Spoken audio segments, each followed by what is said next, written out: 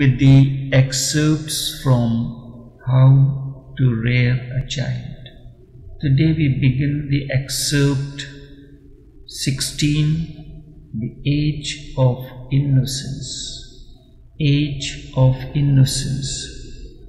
If your sex does not become finally a moment of meditation, you have not yet known what sex is.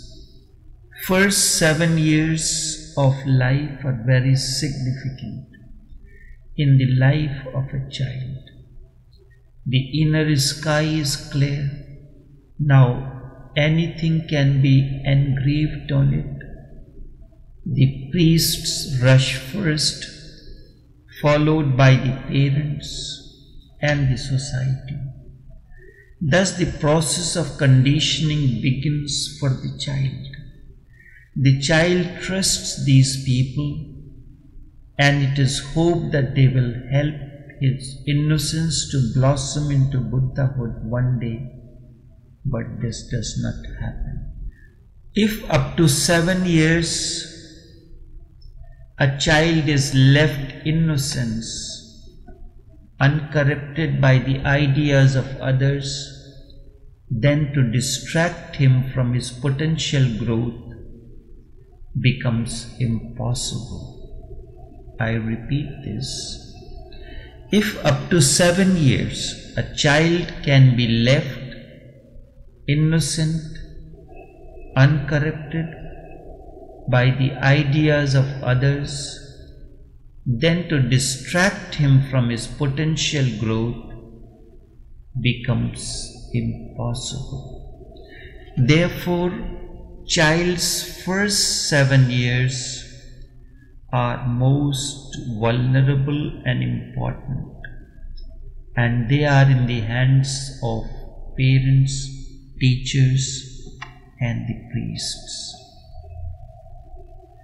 How to save children from parents, priests, and teachers is a question of such enormous proportion that it seems almost impossible to find how to do it.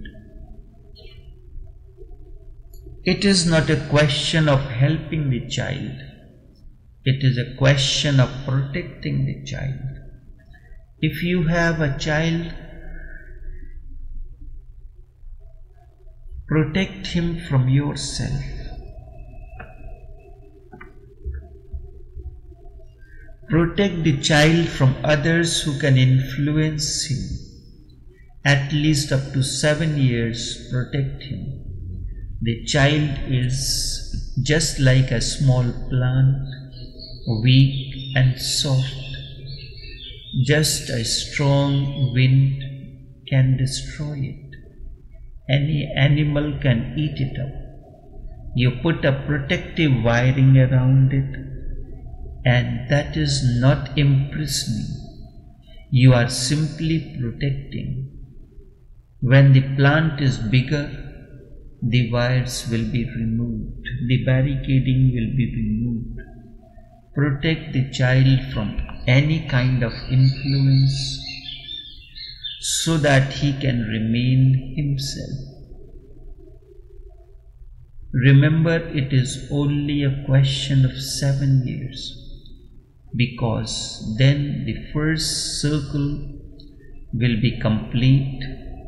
By seven years, he will be well grounded, centered, and is strong enough to find his own way. Now, what is the way we can protect the children? You notice that I had given an example. I was studying in the university and I happened to stay with my, one of my uncles who was a university lecturer for some extra lessons. His youngest son was maybe six or seven years, was very mischievous. When you see a child is making mischief, the people, your friends, neighbors, always complain that you do not give training to the children.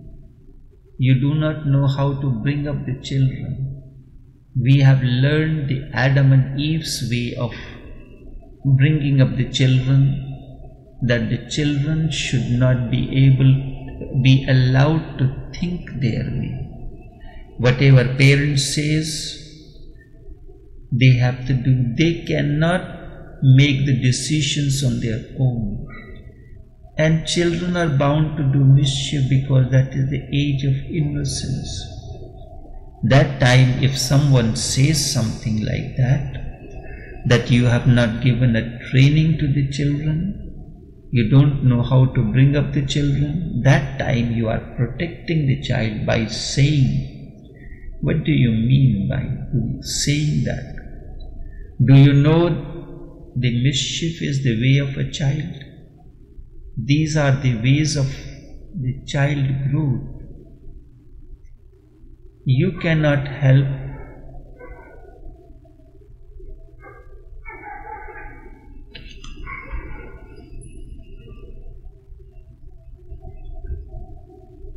You cannot stop the child from doing the mischief because that is the natural process of growth.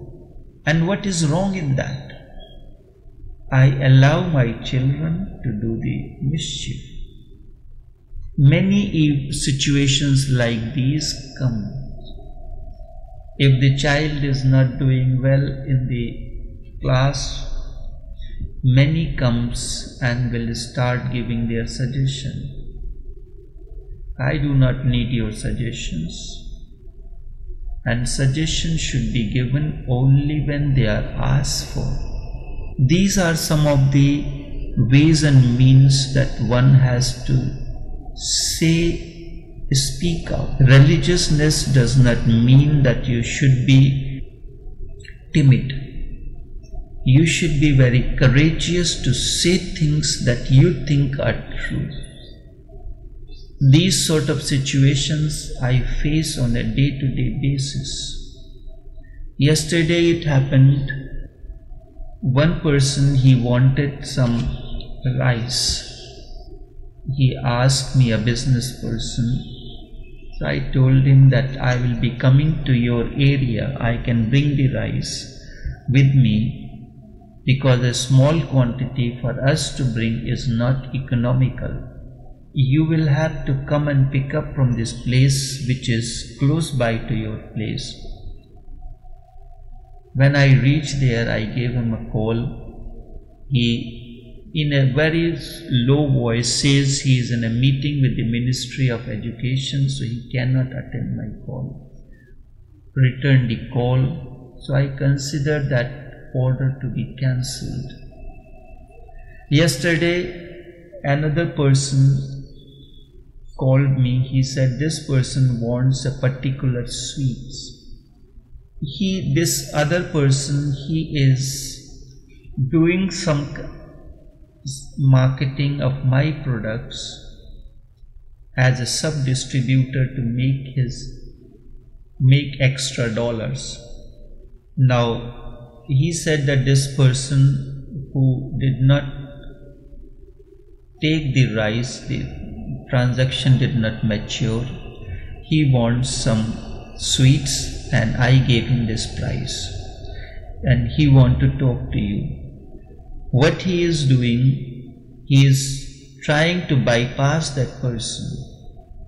I said, no, I cannot do that.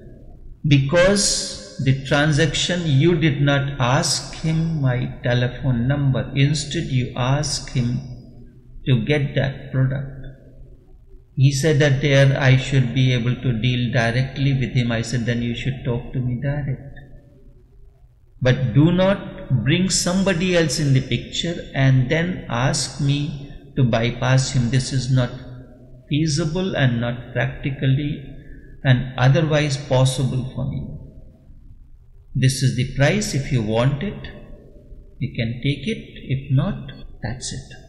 This was the how can I overlook a person? This is expressing myself irrespective of what The, this is one example of being straight and standing to your point, to your convictions. If I had made a commitment to someone, I will fulfill it. If I had told this person that whatever sales you do, you will get your commission. I cannot overlook him when a transaction comes through him for a particular thing. This is how you can be using this example when someone complains about your child. Listen to that person. I listen to your complaints. Listen to him very attentively, and after that, you can tell him that the mischiefs are the way of the child. This is part of the innocence. The child is innocent and he is not cunning.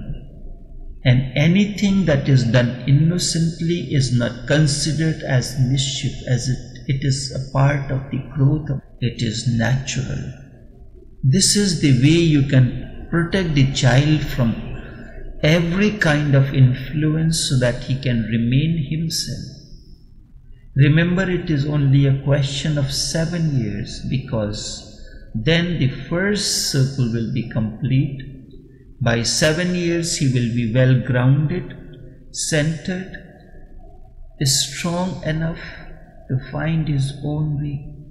When we put a protective barricading around a small seedling or plant, even we put the sticks and tie the plants to that so that they can remain standing properly. Nobody objects to this because this is the part way a plant is grown. When the plants are grown and put it in a planted in a public area where the animals can walk freely, then a barricading is put. When the plants are put on the by the roadside the trees are planted a barricading is put around them nobody objects to that because the plant is not capable of protecting itself. The moment the, the plant becomes a tree strong enough we remove the barricade. And also those things are essential.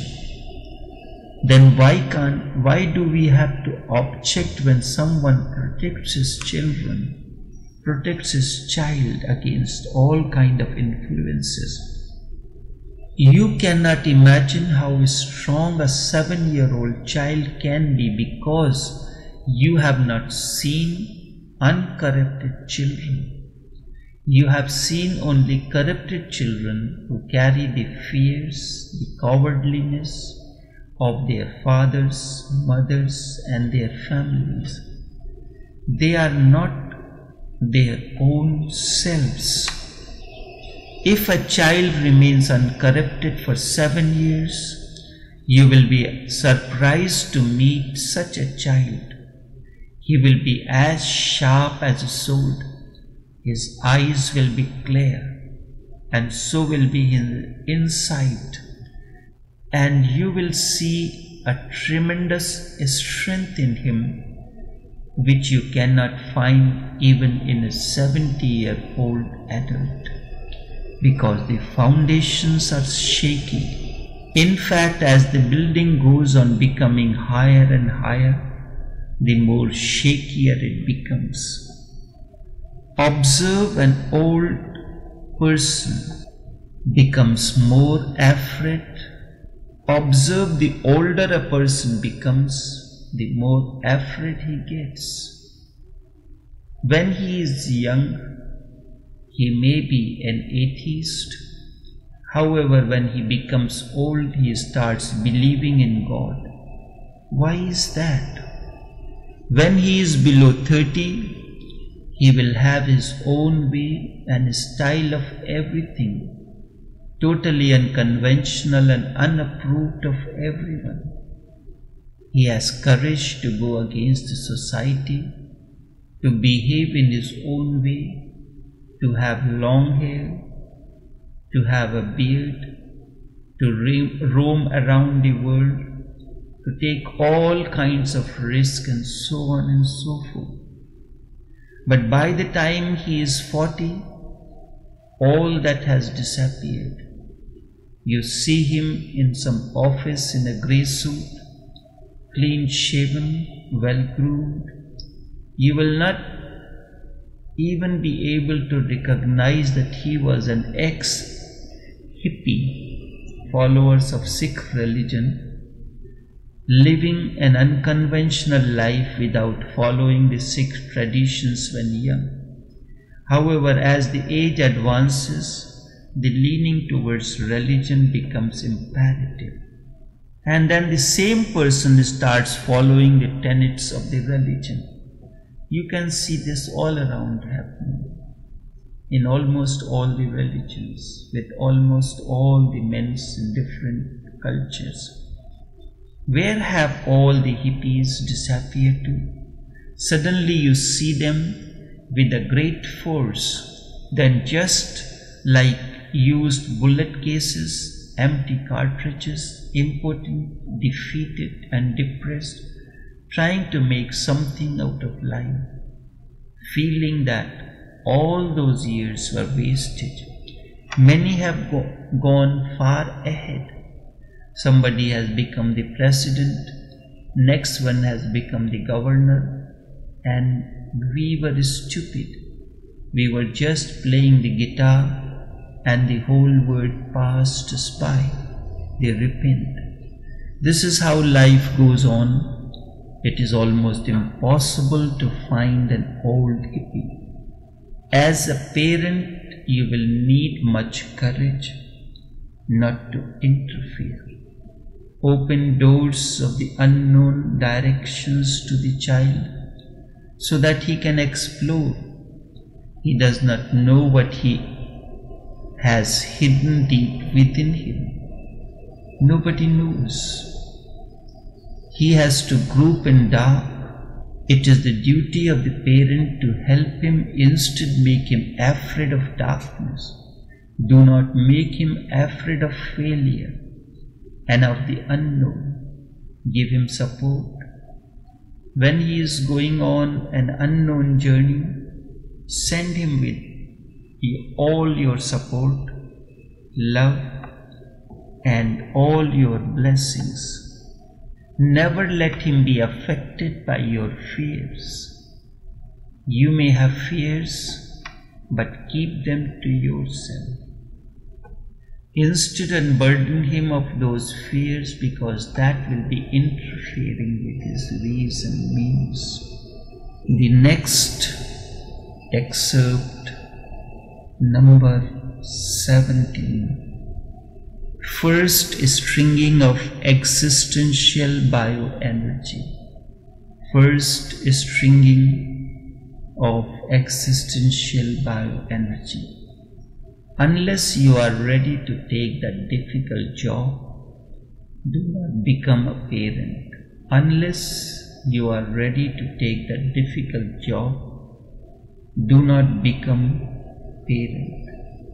Bringing a child into the world requires a great understanding and great effort. Next seven years of life from 7 to 14 is a new addition to life. These years are marked with child's first string of sexual energies. There is a stimulation and thrill. It is the period of emotiveness, but they are only a kind of rehearsal. To be a parent is a difficult job. This requires deep understanding of life and its phenomena. So, unless you are ready to take that difficult job, do not become a parent. People simply go on becoming fathers and mothers, not knowing what they are doing. You are bringing a life into existence, bringing a child into life requires a deep, loving understanding. The child requires all the care in the world. Now, when the child starts playing his sexual rehearsals, that is the time when parents inhibit the most because they have been interfered with and they have remained ignorant all their lives, considering it to be unnatural. All that they know is what has been done to them. So they simply go on doing that to their children. Societies do not allow sexual rehearsals, at least have not allowed it up to this century. Only within the last two or three decades, and that too only in advanced countries. Now children are having co-education, but in countries like India, even now co-education starts at an advanced stage. In most of the cases, and in school, certain schools, friendship between boys and girls is prohibited as taboos. The seven-year-old boy and seven-year-old girl cannot be in the same boarding house. And this is the time for them, without any risk, without the girl getting pregnant, without any problems arising for their families, this is the time that they should be allowed all playfulness. Yes, it will have a sexual color to it, but it is rehearsal. Remember, it is not the real drama. And if you do not allow them even the rehearsal, then suddenly one day the curtain opens and the real drama starts, and those people do not know what is going on. It is not that these things are to be taken for granted. No actor takes the acting for a particular scene for granted. He does a rehearsal before he goes on the stage. And those people do not know what is going on. If and if you do not allow them even the rehearsal, then suddenly one day the curtain opens and the real drama starts. And those people do not know what is going on. Even the director is not there to tell them what to do. You have messed up their life completely. Those seven years, the second circle of life, is significant as a rehearsal. They will meet, mix, play, and thus become acquainted with one another. And that will help humanity to drop almost 90% of perversions. If the children from 7 to 14 are allowed to be together, in every possible way swim together, to be together, 90% of perversions and 90% of pornography will simply disappear. Who will bother about it? When a boy has seen so many girls, what interest can a magazine like Playboy have for him? When a girl has seen so many boys, I do not see that there is any possibility of curiosity about the other. All curiosities are simply because of inhibitions, and these will disappear. They will grow together naturally, not as two different species of animals. You may find it revolutionary and immoral as Christians have found, whether you accept it or not, but it, in reality it goes on in almost all the families. And among boys and girls of that age, this goes on secretly. It is natural. Sooner humanity understands this, better it will be for humanity. Many have confessed this to me. Right now they grow like two different species of animals. They do not belong to one mankind and they are kept separate from one another in traditional communities. A thousand and one barriers are created between them so that they cannot have any rehearsal of their sexual life which is going to come. Since this rehearsal is missing in people's actual sex life, foreplay is missing. Remember, this foreplay is so important. In fact, it is far more important than the actual sex act because actual sexual act lasts only for seconds. It is not nourishment. It simply leaves you in a limbo. You are hoping for so much and nothing comes out of it. After all the efforts going to movies, discos and restaurants and talking all kind of nonsense which neither you want nor the other wants to do, but both are talking, digging the mountain and in the end just a raft. Nothing is as frustrating as sex. Certainly, if you look around, you will find a thousand and one things better than sex. Sex is just a rat, and that too after so much huffing and puffing, so much perspiration, and in the end, both feel cheated. The reason is that you do not know the art of sex. You only know the middle point. It is as if you see a film just in the middle for a few seconds. Naturally, you cannot make any sense out of it. The beginning is missing and the end too is missing. Perhaps you simply saw the interval where there was nothing. Man feels ashamed after sex. He turns over and goes to sleep. He simply cannot face the woman. He feels ashamed, that is why he turns to his side and goes to sleep. The woman weeps and cries because this was not what she was hoping for. But this is all that happens in the name of sex. Then, what is this whole drama all about? But the reason is because the real rehearsal part in your life has been cancelled by your society. You do not know what is the foreplay, and then it happens. What you expect out of sex does not happen.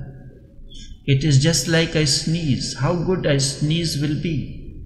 Sex is nothing more than a good sneeze. That's all. Do you relish after the sneeze is over? Foreplay is really the most satisfying part of the sex. Foreplay is more loving. Sex is simply a biological climax. But the climax of what? You have missed everything that could have made it a climax. Do you think you suddenly reach to the climax? Missing all the rungs of the ladder, you have to move up the ladder step by step. Only then, only then you can reach the climax. Everybody wants the climax. There are psychoanalysts with all kind of foolish ideas but they put in people's mind about orgasm. Remember orgasm is even higher stage than climax. Verily orgasm needs much more than climax.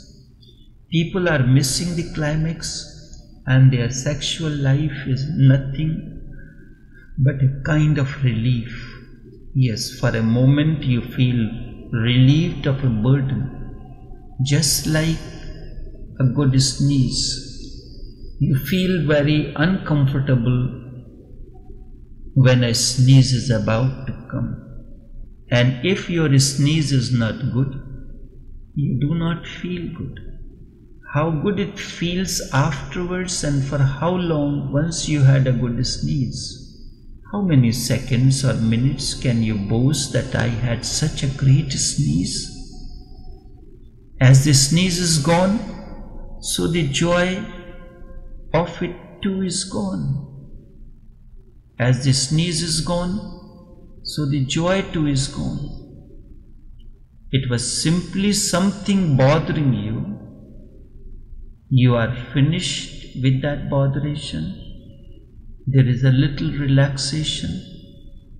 That is the sexual life of most of the people in the world. Some energy was bothering and making you happy.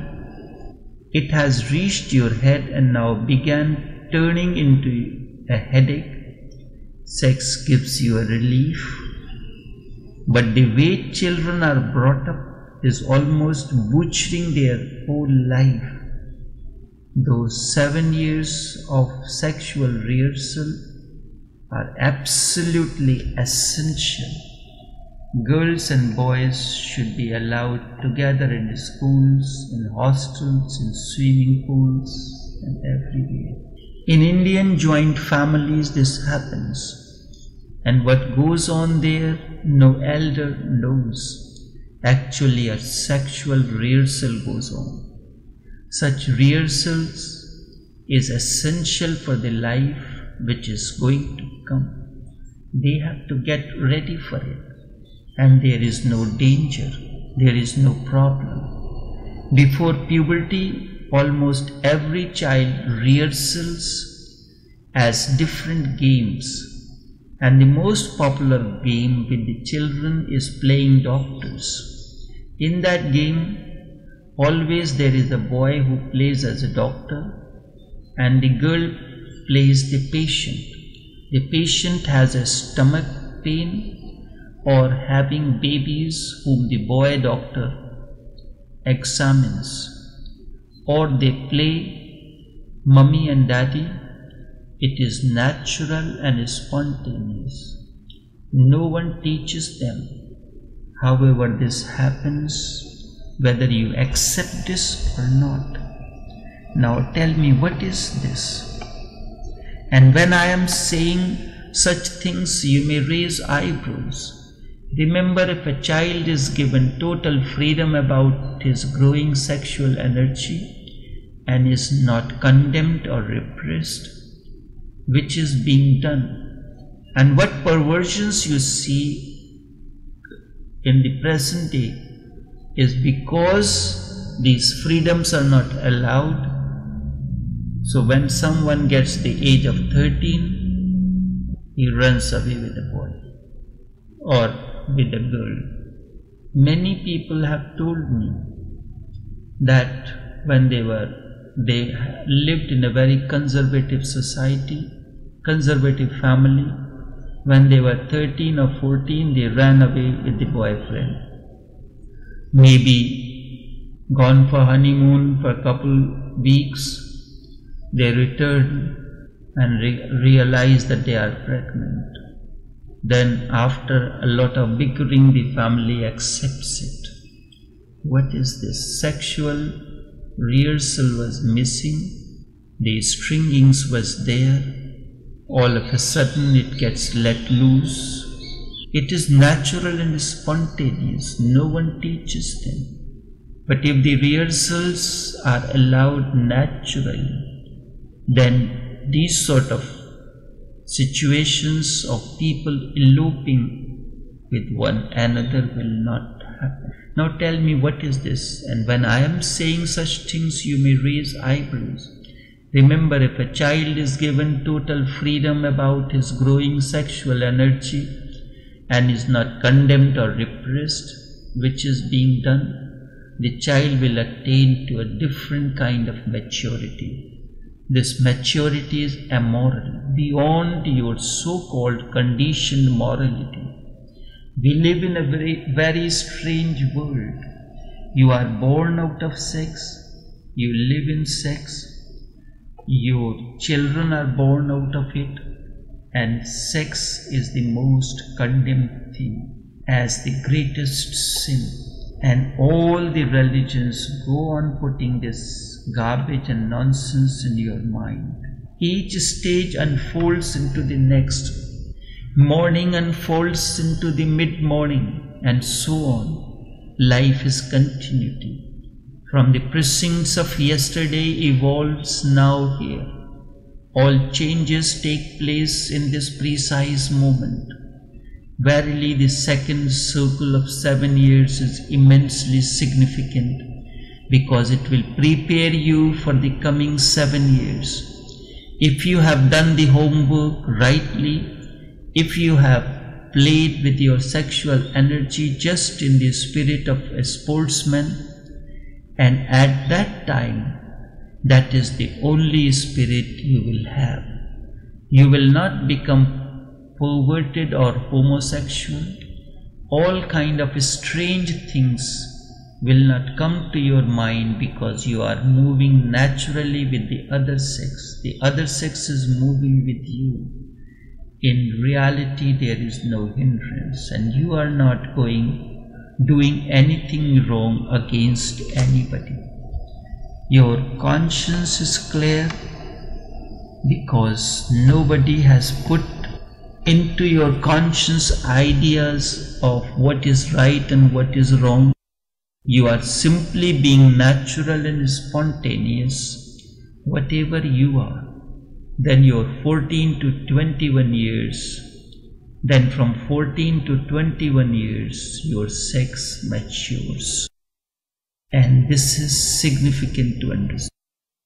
If rehearsal is, has gone well, in the seven years when your sex matures, a very strange thing happens that you may not have ever thought about because you have not been given any chance.